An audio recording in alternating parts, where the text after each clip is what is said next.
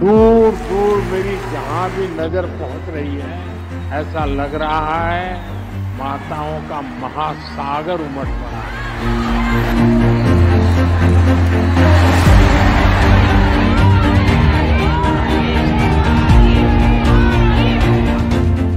लखपति दीदी बनाने का ये अभियान पूरे परिवार को, आने वाली पीढ़ियों को सशक्त करने का एक महाअभियान है।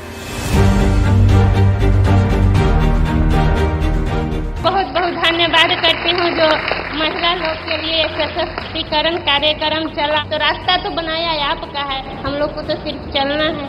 जब हम ये अभियान में नहीं थे तो हमको कुछ महत्व नहीं था।